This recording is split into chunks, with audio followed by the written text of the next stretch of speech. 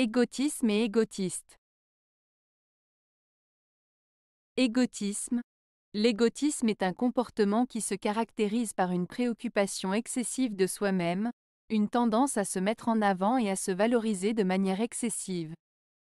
Cela se manifeste souvent par un manque d'empathie envers les autres et une focalisation sur ses propres besoins et désirs. Exemple, une personne égotiste est constamment en train de parler d'elle-même et de ses accomplissements, sans montrer d'intérêt pour les autres.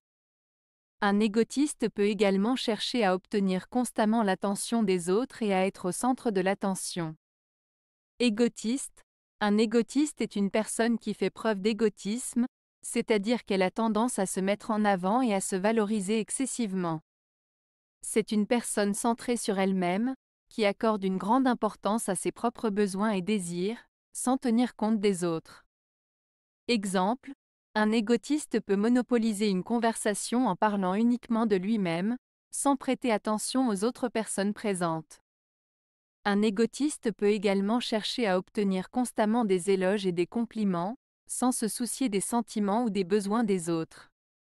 Différence La différence entre égotisme et égotiste réside dans le fait que l'égotisme est un comportement ou une tendance, tandis que l'égotiste est une personne qui manifeste cet égotisme. En d'autres termes, l'égotisme décrit l'attitude ou le comportement, tandis que l'égotiste décrit la personne qui adopte cet égotisme.